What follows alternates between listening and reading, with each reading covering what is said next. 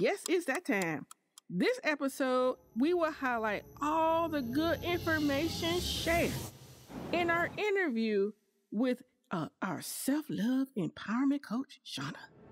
Oh, oh, oh, oh, oh, oh, oh. It's going to be good. Tip number one give yourself a 15 minute timeout.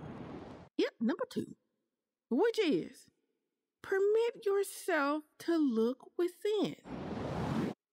Now, this tip is a complement to tip number one, our next tip, which is find the support that you need. Normally, I like to give 10 tips. However, as we were working through all this, I personally became began to get overwhelmed. I